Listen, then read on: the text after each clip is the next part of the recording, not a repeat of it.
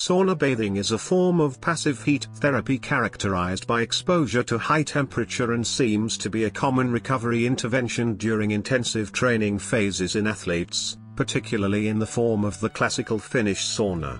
For example, when asked about the importance of different recovery strategies, German sports science practitioners rated sauna as the third most important recovery intervention for athletes.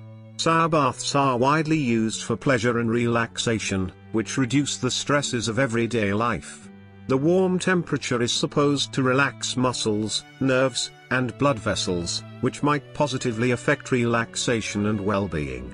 It is believed that IT contributes to rehabilitation after injuries, activates the sympathetic nervous system, and increases blood perfusion to the muscle. In total, 20 competitive swimmers and triathletes. The participants had a minimum of two years training and competition experience at or higher than national level. Each athlete participated in four sessions over four days, with seven-day washout between sessions. Each session included two days of testing, pre and post.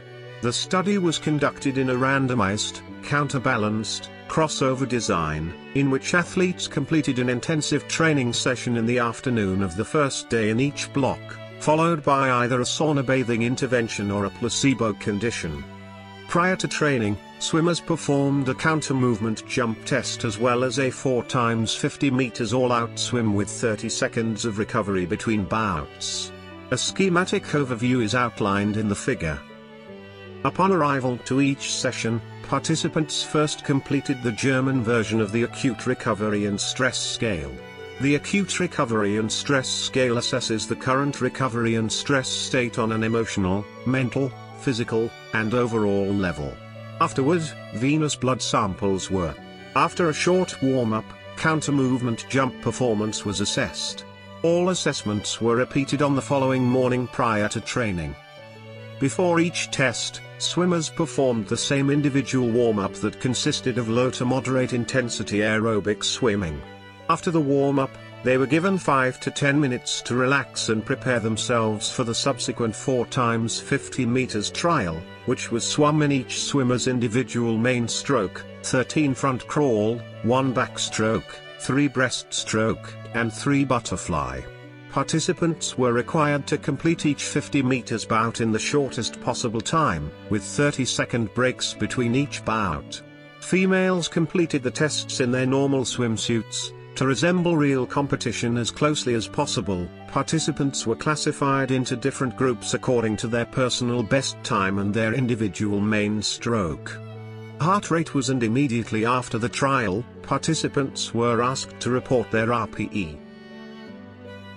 The main program was a standardized 10 times 100 meters intensive interval session at 107% of the individual anaerobic threshold which was swum in each participant's main stroke.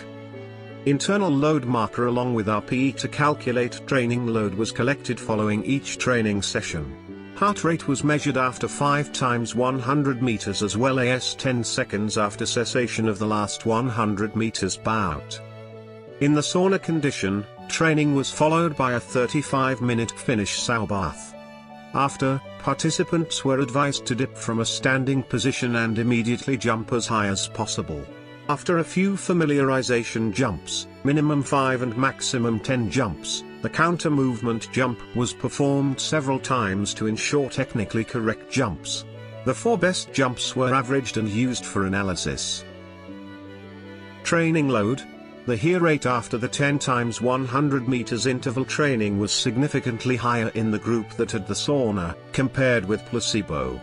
Performance results Total 4 times 50 m time increased after SAU by 1.69% whereas time decreased after the placebo group by 0.66%. Mean and individual time to completion are shown in the figure. Of 20 swimmers, 15 recorded slower performance times after the sauna group, whereas performance improved in 5 athletes. After the placebo group, performance decreased in 11 swimmers and increased in 9 swimmers. A significant time effect was observed within the 50 meters splits.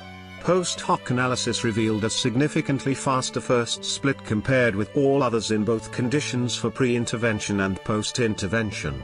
No significant differences in single splits were observed between conditions and testing session.